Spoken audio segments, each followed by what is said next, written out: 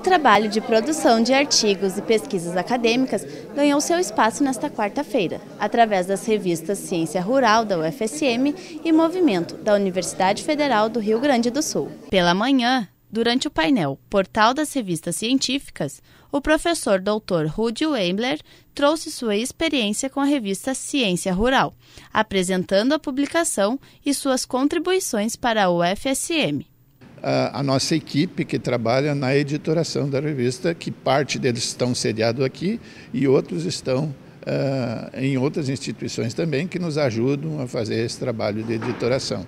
E esses, uh, basicamente, são custeados uh, com o orçamento da própria revista, né, dos pesquisadores brasileiros e também de fora do país. E quais as principais contribuições que a revista já trouxe para a universidade? Como uh, é uma, uma revista que ganhou acessibilidade e visibilidade a partir de eh, 97, 98, nós entramos num sistema chamado Cielo, que são bibliotecas eletrônicas que estão disponíveis uh, para todo mundo. Então, hoje nós temos uh, uma média de 4.500 a 5.000 downloads de artigos científicos completos por dia.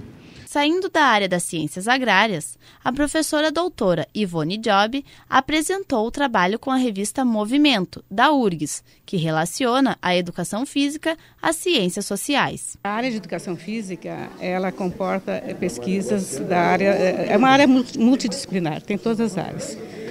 E a revista Movimento nasceu de uma, de uma ideia de ser, de abranger todas as áreas, todas as disciplinas da, da educação física e esporte. Só que com o tempo, os editores daquele período, que foi cerca de 2002, observaram que o pesado, o forte dos artigos que eram enviados eram da área de educação física com a interface ciências sociais humanas, na parte de, de, de filosofia, de história, enfim, essa parte mais social, filosófica social.